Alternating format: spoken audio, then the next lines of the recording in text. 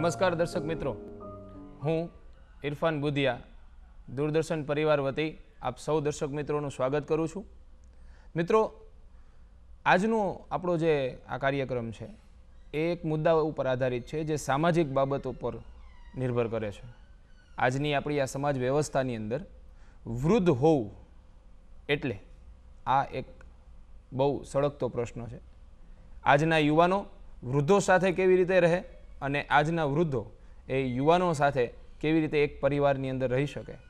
આ પ્રશ્નને લઈ અને આપણા સ્ટુડિયોની અંદર ઉપસ્થિત છે ડૉક્ટર ભદ્રાયુ વછરાજાની સાહેબ. નમસ્કાર સાહેબ. નમસ્કાર નમસ્કાર. ખૂબ ખૂબ સ્વાગત છે આપનું.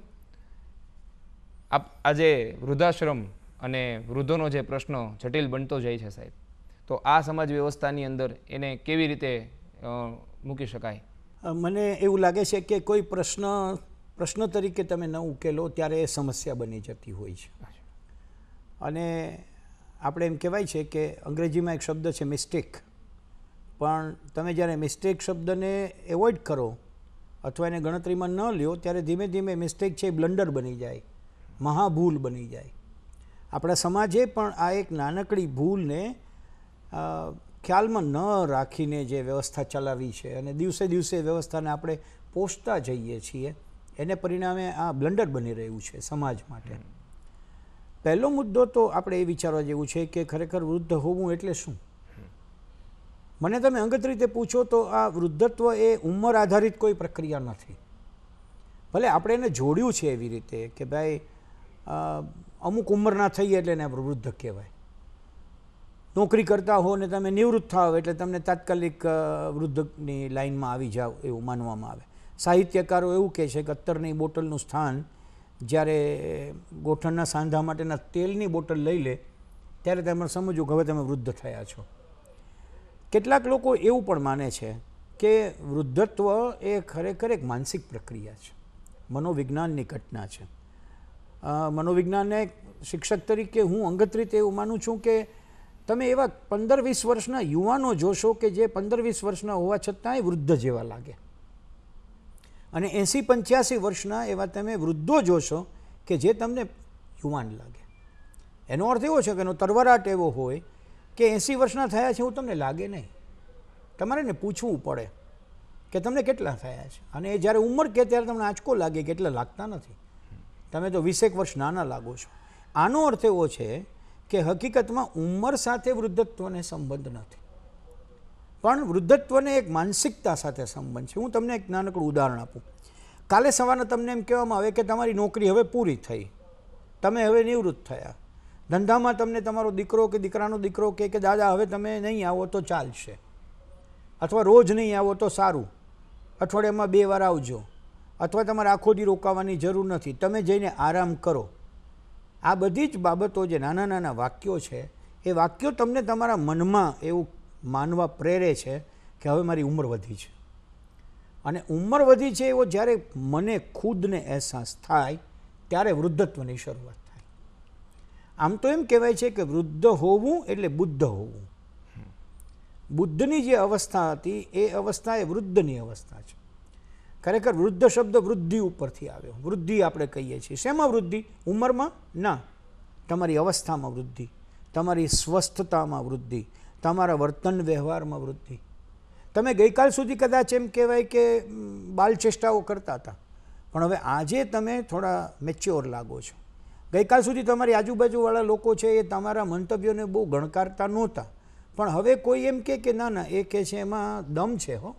તો એનો અર્થ એવો કે તમે ધીમે ધીમે હવે બરાબર મેચ્યોર થઈ ગયા છો તો પાકી ગયા છો. એ પાકી ગયાની અવસ્થા એ બુદ્ધ થવું છે. બુદ્ધત્વ એટલે બીજું કશું જ નથી.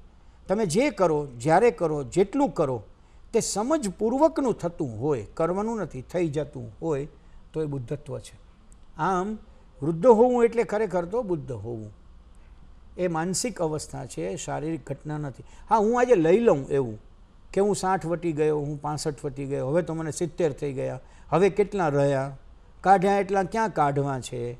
આવા જ્યારે વાક્યો બોલાવવા માંડે, અને એ વાક્યો આપણને ખુદને અહેસાસ કરાવવા લાગે ત્યારે તમે વૃદ્ધ થવા લાગો જ છો, હો કે ન હોય એ બીજો પ્રશ્ન છે. એક વસ્તુ મને એ પણ આવે છે કે વૃદ્ધ હોવું એટલે બુદ્ધ હોવું આપણે કીધું એ રીતે. પણ જે કુટુંબ વ્યવસ્થા છે, એની સાથે જો એને કમ્પેર કરીએ, તો ઘણીવાર એની અંદર પ્રશ્નો ઊભા થતા હોય છે કે વૃદ્ધોનું માન જળવાતું નથી કદાચ, અથવા તો એ વૃદ્ધ બુદ્ધની જેમ જો જ્ઞાન આપે, ઉપદેશ આપે, તો એને અવગણના પણ કરવામાં આવે છે ઘણા કુટુંબોમાં. તો સર, આની વચ્ચે કેવી રીતે આપણે તમારી વાત સો ટકા સાચી છે. જેમ અવસ્થાનો પ્રશ્ન છે, એમ આ એક પ્રકારના એડજસ્ટમેન્ટનો, અનુકૂલનનો પ્રશ્ન છે. અનુકૂલન એટલે શું? મારે સમજવું જોઈએ કે હું અને મારી પત્ની પરણીને જ્યારે ઘરમાં આવ્યા, ત્યારે અમને અમારા મા બાપે જેટલા સરળતાથી સાચવી લીધા હતા, અથવા અમને જેટલી સ્પેસ જોતી હતી, મોકળાશ જોતી હતી, એ અમને આપી હતી. એટલી મોકળાશ હું મારો દીકરો અને દીકરાની વહુ પરણીને આવે, ત્યારે આપી શકું છું? અથવા તો ગઈકાલે માનો કે મને મારા મા બાપે કે દાદા દાદીએ એટલી મોકળાશ નહોતી આપી, ત્યારે અમે ગુંગળાતા હતા. તો હવે હું કાળજી રાખું કે મને જે બન્યું એ મારા સંતાનને ન બને. આ મારામાં સમજ છે? હું તમને ઇરફાનભાઈ બહુ સ્પષ્ટ રીતે કહું. અમુક સમય હોય છે જ્યારે વડીલોએ ડ્રોઈંગ રૂમ છોડીવાનો સમય આવી જતો હોય છે. તમે જે કુટુંબ વ્યવસ્થાની વાત કરી એમાં વૃદ્ધો લગભગ ડ્રોઈંગ રૂમ છોડવા તૈયાર નથી. ડ્રોઈંગ રૂમ છોડવો એટલે હું ફિઝિકલ વાત નથી કરતો. પણ એક સમય આવે કે જ્યારે મારા મિત્રો હતા ત્યારે મારું ડ્રોઈંગ રૂમમાં હોવું જરૂરી હતું. પણ હું જ્યારે જોઉં કે હવે મારા દીકરાના મિત્રો વધુ છે, મારી દીકરીના મિત્રો વધુ છે, મારા દીકરાની વહુના સહેલીઓ આવીને બેસે છે, ત્યારે મારે મારું સ્થાન જરાક ખસેડવાનું છે. ખસેડીને મારે મારા રૂમ તરફ પ્રયાણ કરવાનું છે. આ રૂમ તરફ પ્રયાણ કરવું એમાં કાંઈ છે નથી, એમાં કંઈ દોષ નથી. પણ હું એમને મોકળાશ આપી રહ્યો છું. આ ભાવ જો એક વૃદ્ધ તરીકે હું આપું, તો બહુ જ સીધું છે કે મારી પછીની પેઢીને ગમશે. કે મારે જે હસી મજાક, બને છે હું નહીં છોડું તો શું થશે? એ લોકોની હસી મજાક મને ગમશે નહીં. એ લોકોની વાતચીત મને યોગ્ય નહીં લાગે. પરિણામે હું એ ડિસ્ટર્બ થઈશ, મારી બોડી લેંગ્વેજ બદલશે, મારા હાવભાવ બદલશે. એ હાવભાવ જોઈને એ લોકો ડિસ્ટર્બ થશે. એટલે બેમાંથી કોઈ સુખી થતું નથી. એટલે સમયસર સ્થાન ખાલી કરી દેવું. અહીંયા એક વાત બીજી પણ મારે તમને પૂછવી છે કે આ વૃદ્ધના સંદર્ભમાં આપણે વાત કરી.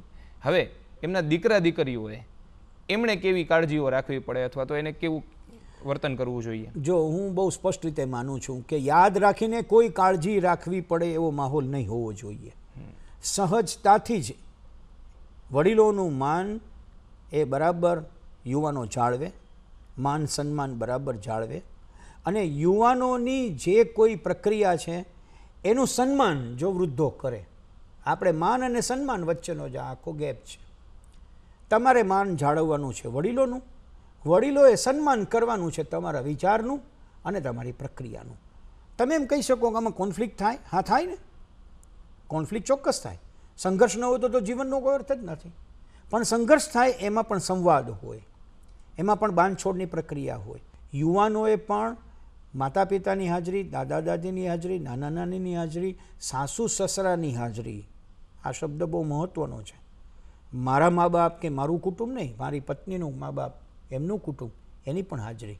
કારણ કે મારું કુટુંબ જો બે વ્યક્તિથી બનતું હોય, તો એ બે વ્યક્તિ નથી. એમ પતિ અને પત્ની નથી. પતિના મા બાપ છે અને પત્નીના પણ મા બાપ છે. આનો સ્વીકાર હું કરું, તો હું માનું છું કે આપણું તંત્ર બરાબર ચાલે. યુવાનોએ શું કરવાનું છે? સન્માન જાળવવાનું છે. સમય જાળવી લેવાનો છે. સિત્તેર એંસી વર્ષના એક વૃદ્ધ તમારા ઘરમાં છે અને એને સાડા અગિયાર વાગે રોજ જમવાનું જોઈએ છીએ. અને તમે દોઢ પહેલાં જમવા માગતા નથી. તમારે થોડી બાંધછોડ કરીને સાડા અગિયારે એમની થાળી પીરસાઈ જાય એટલી જ વ્યવસ્થા કરવાની છે. એમની સમયપત્રકમાં ગડમથલ કરાવવાની પ્રક્રિયામાં સંઘર્ષ થવાનો છે. અને સંઘર્ષનું પરિણામ સારું ન આવે. એમને એમના રૂમમાં જે કાંઈ પહોંચાડવું હોય તે પહોંચાડી દેવું. એનું સ્વાગત કરવાનું છે. એમના કોઈ મિત્રો આવ્યા તો એને માનભેર મારે સાચવી લેવાના છે. આ માત્ર સમજૂતીનો વિષય છે. આમ તો જુઓ તો ઇરફાન આખી લાઈફ એ બહુ મોટી કોમ્પ્રોમાઇઝની ઘટના છે. પણ એમાં વૃદ્ધાવસ્થા એ તમારું વધુ એટેન્શન માગે છે. સર કુટુંબ પ્રથા આટલી સારી પ્રચલિત હોવા છતાં આ વૃદ્ધાશ્રમોની સંખ્યા કેમ વધતી જાય છે? આપણે ત્યાં શું થાય છે કે આપણે વધુ પડતા કુટુંબમાં કન્ફાઇન્ડ થઈ ગયેલા છીએ. આપણી એક સમાજ વ્યવસ્થા એવી છે કે જેમાં જે બને છે, એના કરતાં એનું વિશ્લેષણ જાજુ થાય છે. હું તમને એક નાનું ઉદાહરણ આપું. મારા ઘરમાંથી, મારા માતા પિતાને લઈને હું બહાર નીકળું, તો મારી આજુબાજુવાળા બધા લોકો ખૂબ વખાણ કરશે. પણ મારા મા બાપને લઈને હું ન નીકળું, તમે મારે ઘરે આવ્યા છો અને મારા બાપનો હાથ પકડીને નીકળો, તો સાંજે મારી શેરીમાં વાત ફેલાશે કે દીકરો નથી કરતો અને ઇરફાન આવીને કરે છે. આ ચિંતા બીજા દેશોમાં કોઈ કરતું નથી. ત્યાં એક વ્યવસ્થા ગોઠવી દેવામાં આવી છે. ત્યાં એક એવા પ્રકારની વ્યવસ્થા કે જેથી કરીને વૃદ્ધને જે જોઈએ છીએ તે મળે અને સામેની વ્યક્તિ પણ એટલી ક્વોલિફાઈડ ટ્રેન કરવામાં આવે. હાઉ ટુ કેર વડીલ છે તેની કેટલી કાળજી રાખીશું? એના ઇન્સ્યોરન્સ લેવામાં આવે. આ બધી જ વ્યવસ્થાથી બહુ મોટા હોમ કેર ચાલે છે. એટલે વૃદ્ધાશ્રમો એ માત્ર ભારતની બહુ મોટું દૂષણ કે કલંક છે એવું માનવાનું કારણ નથી. તમારો પ્રશ્ન એવો કે આવું કેમ બને છે? બહુ સીધી વાત છે. જ્યાં એડજસ્ટમેન્ટ નથી, ત્યાં અલગાવ છે. જ્યાં અનુકૂલન નથી, ત્યાં જુદા પડવાની વાત છે. આ સ્ટેજ ઉપર આપણે બે જણા શાંતિથી ન બેસી શકીએ, તો તમારે ઉઠીને અથવા તો મારે ઉઠીને બીજે જવું પડે. આ સાદી ઘટનાનું નામ વૃદ્ધાવસ્થા છે. હું એવું સ્પષ્ટ કરવા માગું છું કે દીકરા દીકરીઓ કે એના દ્વારા જ વૃદ્ધોને ધકેલી દેવામાં આવે છે? એવું સદંતર નથી. ઘણી બધી વખત વૃદ્ધોના સ્વભાવ પણ એવા છે કે જેને સાચવવા માટે થઈને દીકરા દીકરીએ અનેક પ્રયાસો કર્યા હોવા છતાં એ ન સચવાય ત્યારે વૃદ્ધાવસ્થા તરફ પ્રયાણ થાય છે. વૃદ્ધાશ્રમ તરફ આપણે આગળ વધવું પડે છે. એવું પણ જરૂરી સમજી લેવાની જરૂર છે. તમે કદાચ મને થોડો માફ કરી શકો કે એક વિચારવા જેવું કે વૃદ્ધાશ્રમો કોને લઈને ચાલે છે? મા બાપને લઈને ચાલે છે. તો મારે એમ કહેવું હોય તો હું કહી શકું કે હા, પંદર ટકા માતા પિતાઓના વ્યવહારો વલણો અથવા તો દુરાગ્રહોને લઈને ચાલે છે. અમુક સમય પછી મા બાપ કેટલાક એવા હોય છે કે જે દીકરા અથવા દીકરાની વહુને સહન જ કરી શકતા નથી. એની હાજરી સહન ન કરી શકે એટલે એ વૃદ્ધાશ્રમમાં જાય છે. પાંચ દસ ટકા છે એ કુટુંબ વ્યવસ્થા, આર્થિક વ્યવસ્થા અથવા તો ઓફિસ કાર્યવાહીને લઈને કોઈક અલગ થવું પડે એને લઈને ચાલે છે. કદાચ હું એમ કહું કે મોર દેન ફિફ્ટી પર્સન્ટ વૃદ્ધાશ્રમો છે, એ દીકરાની વહુની સાથેના એડજસ્ટમેન્ટ ન હોવાને કારણે ચાલે છે. બહુ ઓછા ટકા એવા છે કે જેમાં ખરેખર ખુદ દીકરો વૃદ્ધાશ્રમ તરફ પોતાના મા બાપને લઈ જતો હોય. મને કદાચ આપણા મહિલા શ્રોતાઓ માફ કરે, પણ ક્યારેય તમે એવું જોયું કે દુનિયાની કોઈ દીકરી પોતાના મા બાપને વૃદ્ધાશ્રમમાં મોકલવા તત્પર હોય? આપણે જવાબ મેળવીએ. એને એવું લાગ્યું હોય ક્યારે કે ના, મારા મા બાપનો સ્વભાવ એવો છે કે એને વૃદ્ધાશ્રમમાં મોકલો? એણે પોતાના ભાઈને અને ભાઈ, ભાભીને કહ્યું હોય કે તમારાથી ન થાય તો વૃદ્ધાશ્રમમાં મોકલજો. અને સામે પક્ષે આપણે એવું વિચારીએ કે આપણે ત્યાંની વહુઓ કેટલા વડીલોને પોતાના ગણીને સાચવી લઈ શકે છે. સાચવે છે એ લોકોને હું આદરપૂર્વક નમસ્કાર કરું છું. પણ સાચવનારા લોકો પણ અમે કેટલું સાચવીએ છીએ એવું વારંવાર ગુણગાન ગાઈને પોતાની મોટાઈ કરે છે. આ હકીકત છે. હકીકત સ્વીકારવામાં આપણને થોડીક તકલીફ પડે પણ ભારત દેશની કુટુંબ વ્યવસ્થાનો તમે પ્રશ્ન પૂછ્યો એટલે મેં આટલું વિશ્લેષણ કર્યું. વૃદ્ધાશ્રમને આપણે શું ગણવું? આશીર્વાદ કે અભિશાપ? કે વૃદ્ધાશ્રમ આશીર્વાદ છે એટલે ગમે તેમ કરીને મારા વૃદ્ધોને વૃદ્ધાશ્રમ ભેગા કરી દેવા એને હું આશીર્વાદ ગણતો નથી. પણ એવો પૂર્ણ પ્રયાસ પછી પણ હું નિષ્ફળ જાઉં, તો મારા કરતાં એક સારી વ્યવસ્થા જ્યાં છે, ત્યાં એ જઈ શકે એવો એક દરવાજો તમે ખુલ્લો રાખ્યો છે એટલે હું એને આશીર્વાદ ગણું છું. ફરી એકવાર આપણે એવું કહીએ કે અભિશાપ છે તો તો લોકો તાત્કાલિક આપણી પર તૂટી પડવાના, કે અભિશાપ છે તો એ કેમ ચાલે છે અને આટલા વૃદ્ધાશ્રમો કેમ નવા ખુલે છે? ખુલે છે એ જ બતાવે છે કે જરૂરિયાત છે. એવું માનવાને કારણ નથી કે ઘરમાં અજંપો થયો છે અને મોટી તકલીફ થઈ છે એટલે જ માણસો ત્યાં આવ્યા છે. આમ પણ તમે જુઓ તો યુવાનો જ્યારે મારા ઘરની અંદર મારો દીકરાનો દીકરો મોટો થતો હોય, એને વાંચવું ગમે, એને ટીવી જોવું ગમે, એને જોશ જોશથી મ્યુઝિક વગાડવું ગમે, એ સમયે મારી ઉંમર શાંતિની છે. મને એકલા રહેવું છે, મારું કશુંક વાંચવું છે. I need a space A space જોઈએ છે તો હું વૃદ્ધાશ્રમમાં જઈ શકું છું. ગુજરાતની અંદર પેઇડ સારામાં સારા વૃદ્ધાશ્રમ ચાલે છે. અને તમને જાણીને આશ્ચર્ય થશે કે વૃદ્ધાશ્રમોની સંખ્યાનો જો તમે એનાલિસિસ કરો, તો લગભગ આઠેક ટકા વૃદ્ધાશ્રમ ગુજરાતમાં એવા ચાલે છે કે ત્યાં ખૂબ પૈસે ટકે સુખી લોકો, જેનું કુટુંબની વ્યવસ્થા ખૂબ સુંદર હોય હળી મળીને રહેતા હોય, એ લોકો પોતાના મનથી વૃદ્ધાશ્રમમાં અમુક સમય ગાળે છે. ત્યાં જઈને જન્મદિવસ ઉજવે છે, બધું જ કરે છે. એટલે એક વ્યવસ્થા છે. એ વ્યવસ્થાનો એક ભાગ છે. એમ જો તમે એને સ્વીકારો, તો હું માનું છું કે એમાં કંઈ અભિશાપ ગણી લેવાની જરૂર નથી. એ મારી અને તમારી અનુકૂળતા માટે ઊભી થયેલી એક સુંદર વ્યવસ્થા છે. અમુક લોકો એવું માને છે કે વૃદ્ધાશ્રમ એ કલંક છે. જો આ પ્રશ્ન હું આપને પૂછું તો આપના મત અનુસાર શું વૃદ્ધાશ્રમ એ કલંક છે? આપણા રાજ્ય સરકારો અને આપણી કેન્દ્ર સરકારો વૃદ્ધાશ્રમ અથવા તો વૃદ્ધ સહાય માટેની ખાસ યોજનાઓ ચલાવે છે. વૃદ્ધ સહાય માટેની આ યોજનાઓ છે, વિધવા સહાય માટેની યોજનાઓ છે, અનાથ સહાય માટેની યોજનાઓ છે. આ બધી યોજનાઓ આપણે કલંક માટે ચલાવીએ છીએ. એને કલંક ગણીશું. સમાજ વ્યવસ્થાનો એક ભાગ છે. ગણિકાઓનો વ્યવસાય એ કલંક છે એમ આપણે કહીએ ત્યારે ગણિકાઓના વ્યવસાય માટેની વ્યવસ્થા કરવામાં આવી છે. એના માટેની સહાય નક્કી કરવામાં આવી છે. એને અપલિફ્ટ કરવા માટેના પ્રયાસો થઈ રહ્યા છે. તો એ કલંક નથી. કલંક એ આપણી માનસિકતા છે. ફરીવાર મને સ્પષ્ટ કરી દેવા દઈએ કે કલંક ગણવું એ મારે મારા માટે નથી ગણવું અન્યને હું કલંક ગણું છું.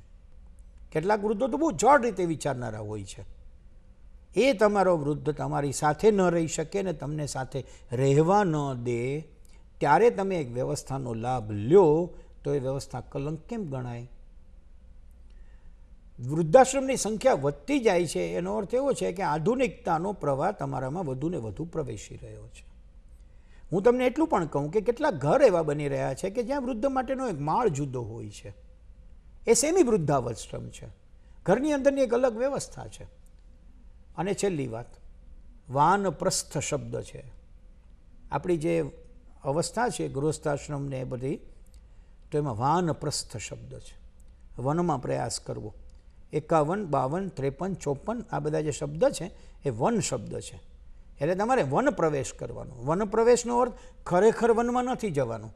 તમારે તમારા ભર્યા ભાદર્યા કુટુંબમાંથી થોડાક આગા જવાનું છે. એ મારી દ્રષ્ટિએ આગા જવું એટલે બીજા રૂમમાં જવું અથવા બીજા માળે જવું અથવા નજીકના વૃદ્ધાશ્રમમાં જવું. વિશાળ દ્રષ્ટિએ વિચારીએ તો આ વાનપ્રસ્થની એક પ્રક્રિયા છે. તમને એવું લાગે કે આ બધી જરૂરિયાતો ઊભી થાય જ્યારે મેડિકલ હેલ્પ જોઈએ, કોઈની હૂંફ જોઈએ, ત્યારે શું? વૃદ્ધાશ્રમો આ બધા માટે ખૂબ મહેનત કરે છે.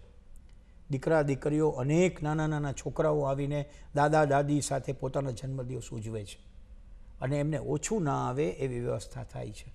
એટલે વૃદ્ધાશ્રમના સ્થાપકોએ પૂર્ણ કાળજી લીધી છે કે આ બે પેઢી ઈચ્છા થાય ત્યારે મળે.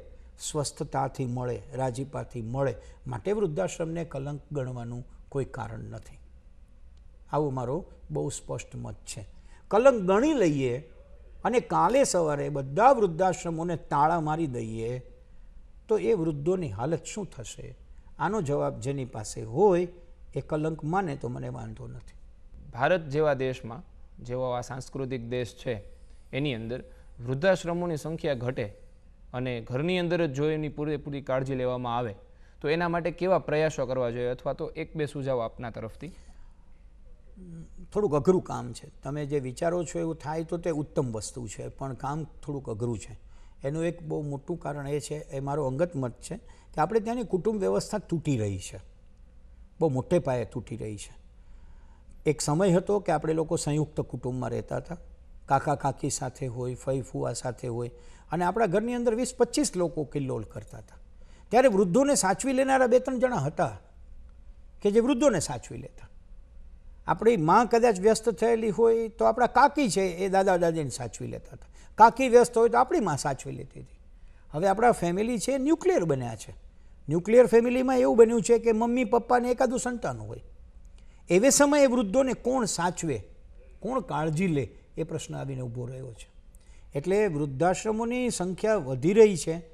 એના સંદર્ભમાં એવી વ્યવસ્થા તમે ઊભી કરો તો પણ હું માનું છું મેન પાવરની શોર્ટેજ છે. જો નોકરી બધા કરવા લાગ્યા છે અથવા કશું કામ કરવા લાગ્યા છે. કારણ કે વધુ અર્ન કરીને પોતાની જીવનની જરૂરિયાતો સંતોષવાનો બધાને શોખ છે અને એ જરૂરી છે, એમાં કશું ખોટું નથી. પણ મુદ્દો એ આવીને ઊભો રહે કે એ હું સમય જ્યારે બહાર કાઢું છું, ત્યારે હું મારા ઘરમાં સમય ઓછો આપી શકું. તમે તો ઇરફાનભાઈ વૃદ્ધોની વાત કરો છો. અત્યારે આપણા બાળકો પણ ઘરમાં ન સચવાય એવી માતા પિતાની હાલત છે. સવારના પોરમાં ઇન્ડસ્ટ્રીમાં જનારો એક પિતા હોય એ સાત વાગે નીકળે છે અને રાતે અગિયાર વાગે ઘરે આવે છે. એ જાય ત્યારે એનું બાળક સૂતું હોય છે અને આવે ત્યારે પણ બાળક સૂઈ ગયું હોય છે. કદાચ ભવિષ્યની અંદર વૃદ્ધાશ્રમોની જેમ આપણે બાલાશ્રમો ઊભા કરવા પડે એવી સિચ્યુએશન બાળકોની છે. કદાચ જોગાનું જોગ એવું કહેવાનું હશે કે વૃદ્ધ અને બાળક બે સરખા છે. એટલે બંનેની કાળજીની અંદર આપણી કુટુંબ વ્યવસ્થા જોઈએ એટલી સબળ અત્યારે નથી. અને થાય એવું હું બહુ નજીકના ભવિષ્યમાં જોતો નથી. હું તો ધીમે ધીમે એવું જોઈ રહ્યો છું કે આપણે આખી કુટુંબ વ્યવસ્થામાંથી બહાર નીકળી જઈએ. લોકો લગ્ન કર્યા વગર જીવી શકાતું હોય તો લગ્ન કરવા તૈયાર નથી. લગ્ન કર્યા પછી બાળક ન થાય એમ જીવી શકાતું હોય તો એને બાળકમાં રસ નથી. બાળક થઈ જાય ને પોતાનું કરી લેતો હોય, તો પછી એમાં પણ રસ નથી. આ ઘટનામાં જ્યારે પોતે પોતાનાનું ન કરી શકતા હોય, ત્યારે વૃદ્ધો માટે બહુ મોટી વ્યવસ્થા કરે, એ જરાક મોટી આપણી અપેક્ષા છે. પ્રાર્થના ચોક્કસ કરીએ કે ભારતીય સંસ્કૃતિ ને સંસ્કાર એવું આપણે જે બોલીએ છીએ, એ ખરેખર ચરિતાર્થ થાય. આપણે આશા પણ રાખીએ કે ચમત્કાર થાય અને બધું સારાવાના થઈ જાય. આશા અમર છે. હું તમે બેય રાખીએ. આપે આપને અમને આજે સમય આપ્યો આપનો મૂલ્યવાન. એમના માટે હું આપનો આભાર વ્યક્ત કરું છું. મને પણ ખૂબ આનંદ થયો એક સુંદર મજાના વિષયને લઈને તમે મારા વિચારો સાંભળ્યા. મારા વિચારો થોડાક વધુ પડતા ખુલ્લા છે. પણ હું કોઈ પણ સમસ્યાને બે બાજુથી વિચારવી જોઈએ એમ માનવાવાળો છું. કોઈ એક જ પક્ષથી ન વિચારી શકું. તમે એમ કહો કે આ કલંક છે તો કલંક બંધ કેમ કરશો? તમે એમ કહો કે આશીર્વાદ છે તો આશીર્વાદનો લાભ ઓછો લેવો પડે એવું કેમ કરશો? આ બે વાત વિચારવી જોઈએ. આપણે શરૂઆતમાં એ પણ ચર્ચા કરી કે એકબીજાને સ્પેસ આપે. વડીલો છે એ માન જાળવે અને યુવાનો છે એ સન્માન આપે. આ બે વસ્તુ થાય તો કોઈએ ઘરની બહાર જવું નહીં પડે. ચોક્કસ. હું પણ તમારો આભાર વ્યક્ત કરું કે મને આવા એક સુંદર વિષય ઉપર મારા વિચારો વ્યક્ત કરવાની સુંદર મજાની તમે તક આપી છે. ખૂબ ખૂબ આભાર સાહેબ